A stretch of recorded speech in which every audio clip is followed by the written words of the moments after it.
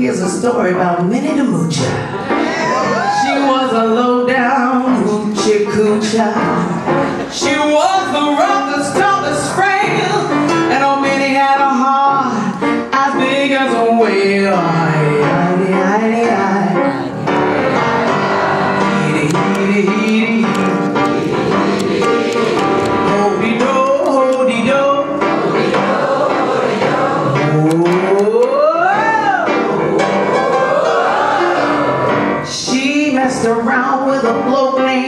Smokey. They called him that because he was a cokey.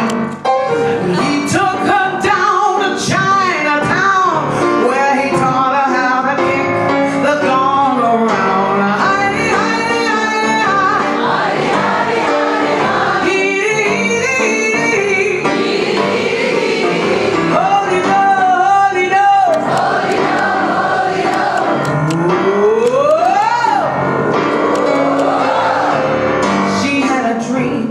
The king of Sweden. That man gave her everything she was needing.